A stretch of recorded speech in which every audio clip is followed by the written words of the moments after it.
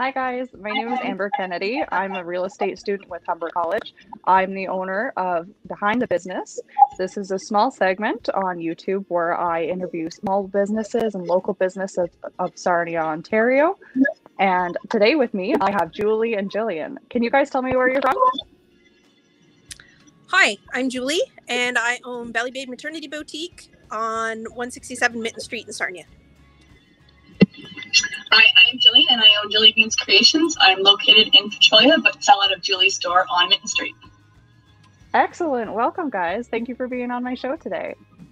Thank you Thanks for for having having us. So we'll just jump right in. So my first question for you guys is what type of business do you run? So, like the name states, I'm a maternity store, but I also carry non maternity plus size clothing as well. Uh, I have a ton of clothing. I carry maternity nursing bras, underwear, support belts. I got a lot of stuff and all of Gillian's stuff. So I own Jillybean's Creations, as I mentioned before. I make a lot of handmade baby items, um, blankets, bibs, teethers. Um, I've also been making a lot of scrub caps and masks lately um, to service the need of our local um, essential workers. Um, I do custom orders as well as um, sell in Julie store products that I've made up for individuals who pop into and looking for stuff. Excellent. That's awesome. So my next question for you guys is when and how did you start your business? So I got into the business in December of 2011. I used to have a business partner. Uh, she's long since gone, and that's how I got started. I've always worked retail. I worked uh, for a, another small company prior to that, and when it closed, I came over to Belly Babe, and eh, 10 years later, here I am.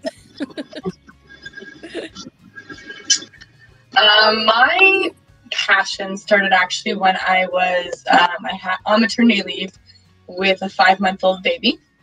Um, I was bored. I'm a teacher um, on my day to day job, and I found that I was lacking the creative outlet.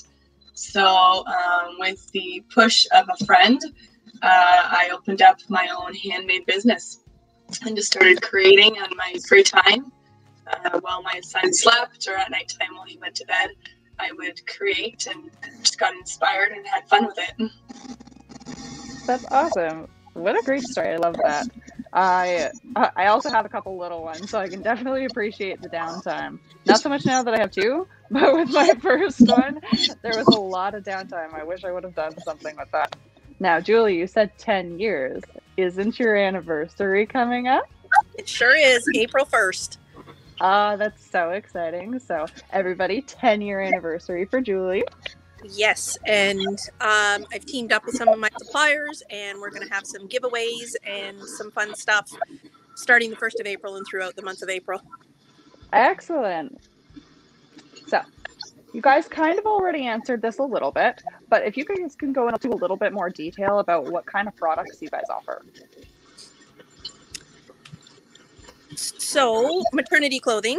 Um, and I've started getting, being able to find, which has been a difficult task, is not her plus size maternity. So I carry from extra small, small up to 3X in a lot of products, but I'm still not finding it with every supplier. So I have to work hard to find that. And then I carry, I just started this fall carrying non maternity plus size, and it starts at a 14 and goes up to a 24.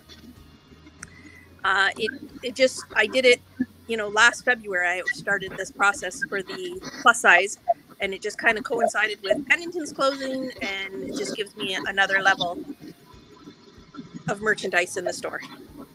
Well, yes, we have touched on it a bit before, but I do make um, handmade baby blankets, um, teethers, bibs, swaddle blankets, headbands, um, and I have been making a lot of scrub caps and uh, masks for uh, kids as well as our essential workers. Um, I also do um, car seat ponchos, which is one of my biggest uh, sellers. Uh, they don't want kids wearing coats in cars anymore with their car seats, so I make the ponchos. I've sold hundreds of them. So that's one of my big sellers. Julie can't keep them in stock. So Um, one of my I big sellers. it. and also custom blankets. So being able to personalize the blankets for the baby or the individual um, are two big my sellers. What do you do for custom blankets? How does that work? Okay, so if an individual is looking for a specific, let's say, fabric, color, theme, um, I will do the research to try to find the fabric and give them options. Um, I'll send them pictures of uh, some options of what I can get, as well as the backing. I use um, two different types of fabric, usually for the backing of one of my custom blankets. There's a very soft minky, um, great for kids with sensory um, and they get to pick the color, the fabric, and I put it all together. And I also get their their name can be the child's name can be embroidered on the the blanket as well. So I have um, another local business that I deal with that embroiders a name on the blankets. So I really get to customize it from the beginning to the end. I love that. That's a really nice idea. What is your favorite part about your job? And for Gillian, I know you have a couple jobs, so you can totally mention both of your favorite parts. Uh, for me, it's the day-to-day operation of owning a business and finding suppliers and ordering and customers. I love my customers. I, Gillian and I are shopped in my store. you know, all these years later, we're you know we contact on a personal level, not just business, and love meeting new people. Very very social. Uh, and you know, I really enjoy the alone time that I get. that's you know what there's just not any that I don't like other than jerky people. Yeah. I get that one. The keyboard warriors that drive me insane. Well, as Amber mentioned, I am a teacher by day and uh, a small business owner by night. Um, uh, not that it's been like that much lately with everything that's going on in this, the world, but um, I love what I do. I um, I love being able to work with my students, um, seeing them develop and change, and being able to meet the needs of them. Um, when it comes to my business, I love the interaction with individuals. I love the creative outlet it gives me.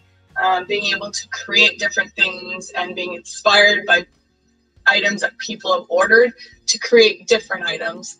Uh, it really permits me that give that artistic side um, and gives me that um, I guess desire to be able to create and do different.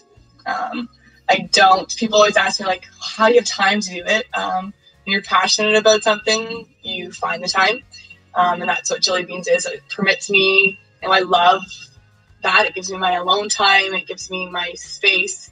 Um, I have a whole room dedicated to it, so it permits me just to kind of be in my zone and leave my day away from whatever the stresses are of the day to just kind of create. I get the sewing machine and I just go. And it could be no scrub cap or as much as it could be a personalized blanket. Just permits me to give that creative outlet. And I love it. That is excellent. You know what? Hearing that really strikes me that you're a young grade teacher. What grade range do you teach? I teach grade two, three. that really makes sense. You know what? You just strike me as such like a creative person and such like a loving person that you put your love into your work and it's very apparent. Well, I love what I do. And, you know, we talk about, you know, all the stresses going on right now. I'm very glad to be back in the classroom.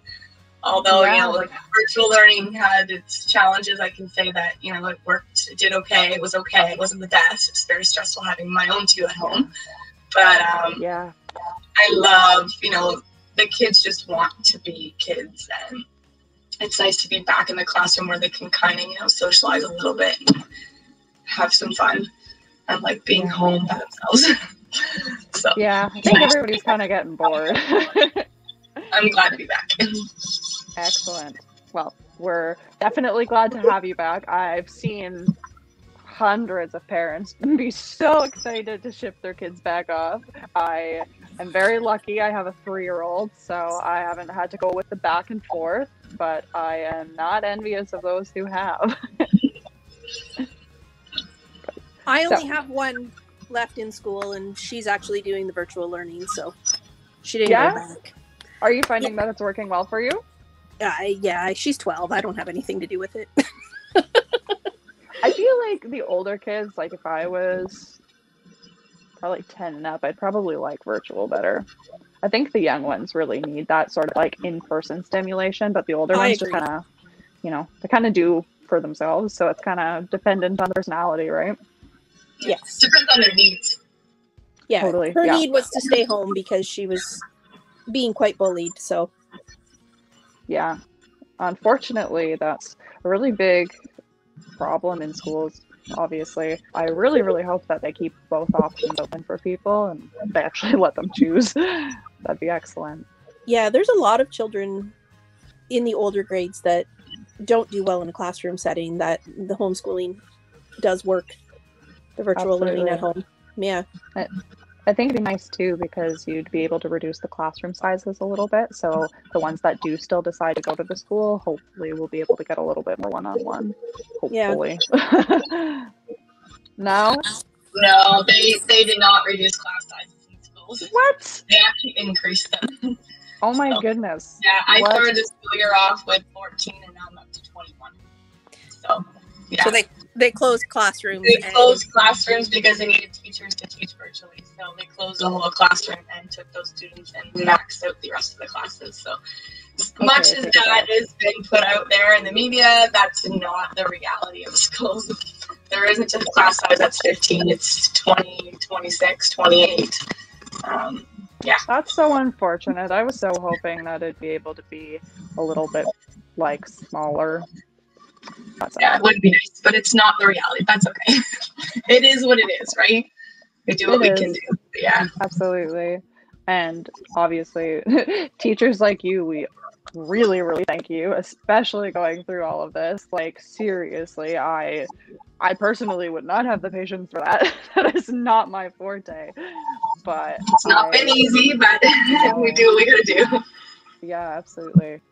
Oh my goodness. Well, we'll go a little bit upswing. so, my next question for you guys is how can we as a community support you? the biggest thing is getting your our names out there, right? Uh, word of mouth is your biggest compliment. So, telling people, "Hey, did you know when you see a pregnant girl? Hey, did you know there's a maternity store on Mitton Street?" And the prices aren't that crazy, contrary to what you might have heard. so, word of mouth, seeing our posts, sharing, liking, just passing them on. That is the biggest thing that anybody can do. Word of mouth. Great reviews if you've bought something and you love it. That's always very, very helpful, whether that's on my Facebook page, my Instagram page, or on Google. exactly what Julie said. It's definitely word of mouth. Um, my business over the last nine years has definitely grown, and I could say it's mostly been because of word of mouth, um, as well as having um, a set location with Julie within Julie. Julie's been the one that supported me the most, so I've kept my product in her store um, over the years, and it's helped get my, my my name out there. Just with having people walk into her store and notice my product with Julie mentioning it or and then them going to the next person saying, Hey, do you know that there you know, I bought this lovely blanket from this individual and you know, go and check it out. And not only they check my product out, but checking Julie's out at the same time. So that's been a huge thing is having my product in Julie's store. So the reviews, the likes, the word of mouth are excellent, but also having a physical location for me has been a great thing. Um, and it permits me to say, you know, I can't get that, you know, I, right now I'm too busy to do a custom order, but I have a lot of stock at Julie's, head into Julie's, and not only do they discover my product, they get to discover Julie's at the same time. So it kind of, the two for one kind of thing. Yeah, and that's why I like having her in my store because it's just another way to bring traffic. Absolutely. It's a really, really smart pairing. That's like super smart. Is there anything else that you guys would like to tell us about your businesses? um you just check it out come in check it out it's i i get very very upset um when the girls get chatting on the social media pages and somebody will ask about my store and then it's immediately oh don't shop there it's too expensive. And then somebody else is like no it's not her prices are great and her used section is great. It just breaks my heart so don't do that to me. Gillian's been witness to a few things and uh, she sticks up for me when she finds them and it's just people don't understand that yep you're hiding behind a keyboard nobody can see your face but you're still hurting people's feelings you're still causing pain um, yes, I'm a business owner. Maybe I should have a thicker skin, but this is my life. I have put 10 years of my heart and soul into this business, you know, foregoing family trips and doing different things because I don't want to close for a week because somebody might need something. You know, it's it's difficult and people need to understand that if I was criticizing your family in the same way you're criticizing my business, it would hurt your feelings and this is my my life. This is my family. I I mean I have kids and stuff, but this is just everything for me. And people need to learn to be kinder on all levels. Absolutely. And what you said is so true. That's like it's so easy for people to just sit there and say, you know what, your prices are high. Apparently, they've never seen maternity clothing pricing like ever. like, newsflash, it tends to be more expensive. it's just like weddings. The minute you put a wedding, you put wedding before something, the price goes up. And it's not yeah. like I'm not overcharging. That's just the price of things. Like I don't have a 100% markup. I don't have a 300% markup. Like I know there's some stores in town that have 300% markups and people are clamoring to get there because it's not maternity. And I guess the problem is people think, well, I only need it for such a short amount of time. I don't want to spend that much money on it. But if you invest in a good maternity wardrobe with your first, you'll have it through two, three pregnancies. And then I'll buy it back from you when you're done. That's excellent. That's awesome. Just to, uh, to, to um, grow on what Julie said, it's definitely like, you know, give us a chance um, my products are quality products. I try to source out as much local fabrics as I can, and it's not always cheap. People don't necessarily realize the cost of fabric. Um, and you know, I, I will say I used to get I do get a lot used to get a lot of my fabric stateside, which was cheaper. That's not possible right now. So certain things had have increased because, but at the same time, I'm supporting someone local. I'm ordering from local fabric stores. I'm supporting the local people. So yes, it's increased in price, but the quality is there, and that's huge. Don't just shove it as my product aside because you know I charge maybe five dollars more than the other individual.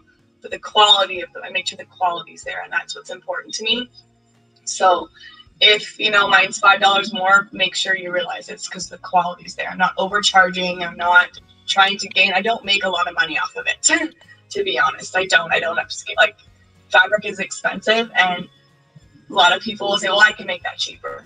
Go ahead and try, but usually they'll turn around and say, "Yeah, no, you can do it. I definitely can't." Once they clue in, so you go ahead and try. And I'll be honest with it. Like I'm trying to be honest as much as I can.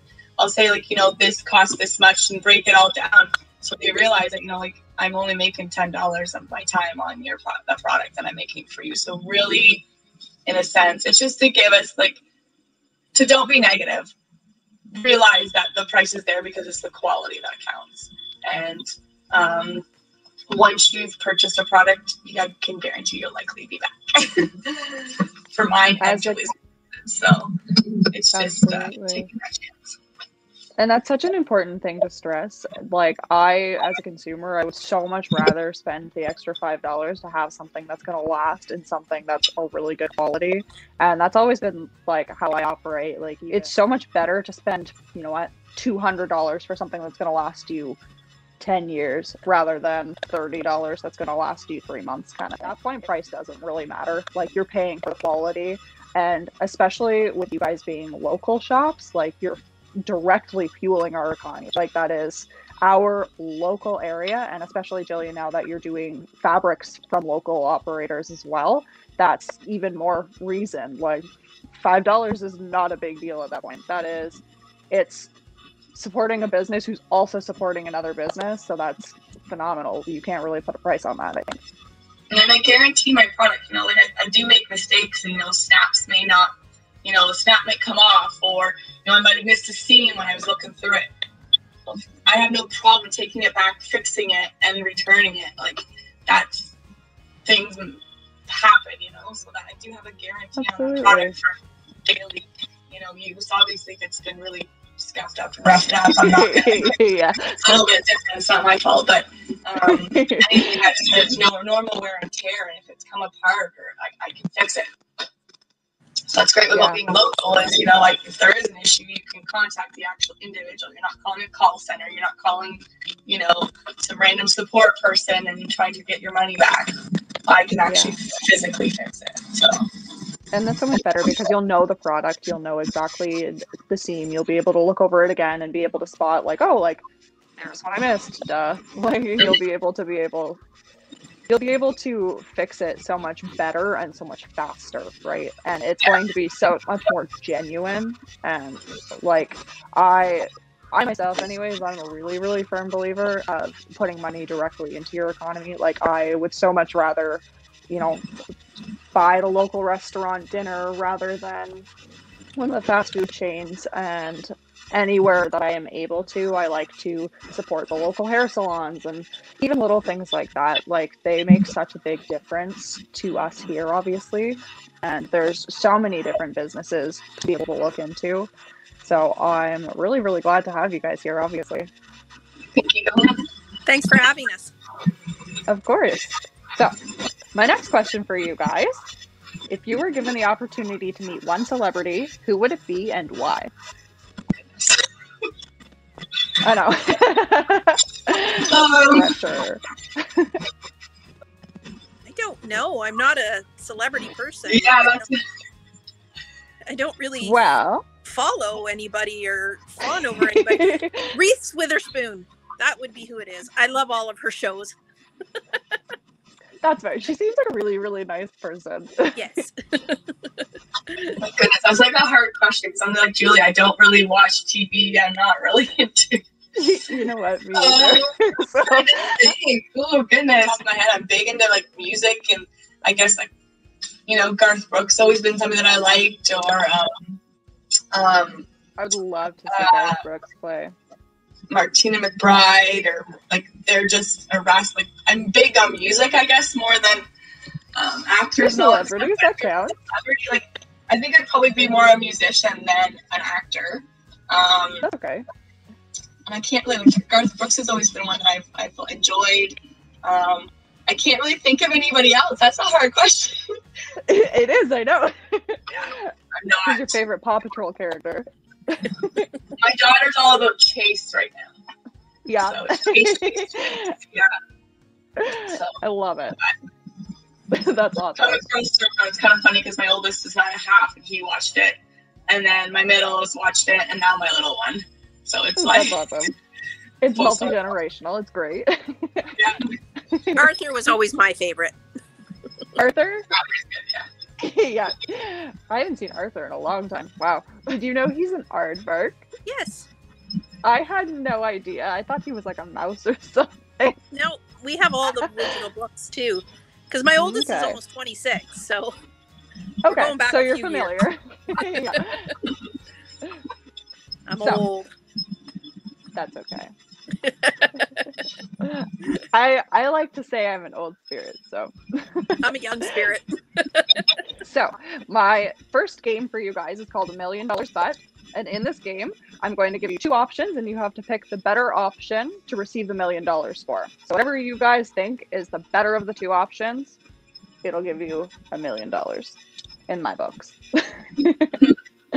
so, a million dollars, but you have to marry your childhood crush, or a million dollars, but every time you see someone smiling, you can no longer control the volume of your voice and you begin yelling. I'd marry my childhood crush. yeah. You don't want to yell at customers? You don't think that's, No, that's not good so it might deter them. Maybe if you preface it online. Sorry, guys. I I have really good customer service, but I have a really loud voice. it might work, but My volume control think no so. longer works. Sorry. But I'm rich. yeah, exactly. Next game for you guys is called Super Fight. So, with this game, I'm going to assign each of you a character and I'm going to give you an attribute. So, the first step of this game is once I've given you those, between yourselves, you need to debate who of those people would win and you have to convince me why they would win. And then, about partial way through, I'll throw in another attribute that may help or give you a disadvantage with your character. Are you guys ready? Okay. So, Julie, you get Homer Simpson, but he has really small arms. And Gillian, you get a gorilla, but it's afraid of water. Who do you think will win? The gorilla. No, you're supposed to have to do yours. Okay, Homer will win because he's got a big belly and he can push the gorilla into the water. And the gorilla's gonna win because he has big arms and he can squish Homer and move him out of the way. Those are pretty big. I just picture Homer Simpson and a gorilla belly bumping each other. Yeah. They're just having a fight. So now, Julie, your Yes. small armed Homer Simpson can control magnetism. And Gillian, your water petrified gorilla, is armed with a sadness ray. Now, What is my- you think will My? Homer is what? He can control magnetism, so he has control over everything metal. Okay. So he can send metal shields to block the sadness ray and send them back to the gorilla. So he gets so sad he can't function. That's hilarious. Um, goodness, um, can use his sadness ray to control Homer's emotions and make him get him for sure. But he's got that metal shield, so he can't. and make him sad, so he'll start to cry, and then he can't, and he loses all control of himself. I think the sadness ray is just.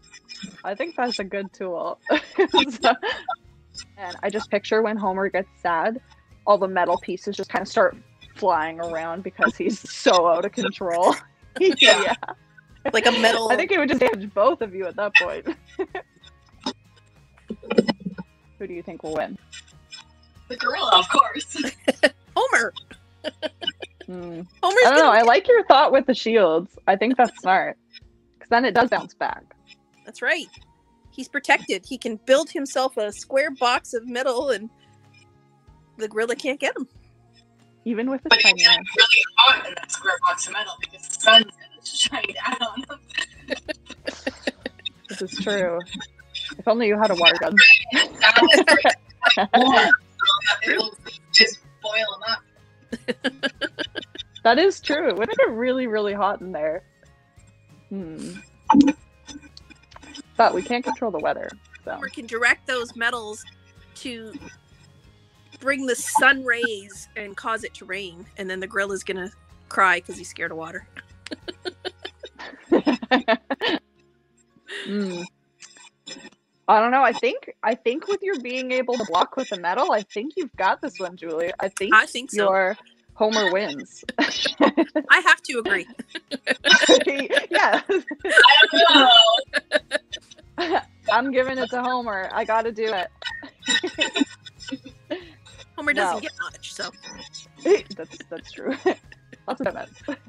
However, Well- locked in that box, he's not gonna have anything to eat. It's true. So- He it's can true. get He would out. Be really. he can That's- put on. And Homer likes food He can build himself a metal uh, and helmet beer, that I'm not just has a small But slit so he can see out of it, so the gorilla can't get him. That metal's just gonna save his life. The gorilla's screwed. It's plain and simple. I think I have to agree. I'm sorry. well, that concludes who the winner is.